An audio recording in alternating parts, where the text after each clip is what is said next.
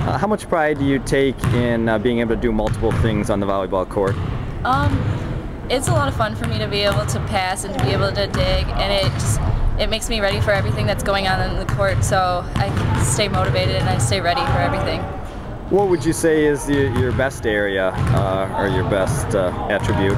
Um, probably hitting. I love hitting, and it's so much fun to put a ball down in somebody's face. and is there one area um, going into your senior year that uh, you'd like to improve on in the off season? Um, I would have to say passing. Struggle with that. And any reason or any?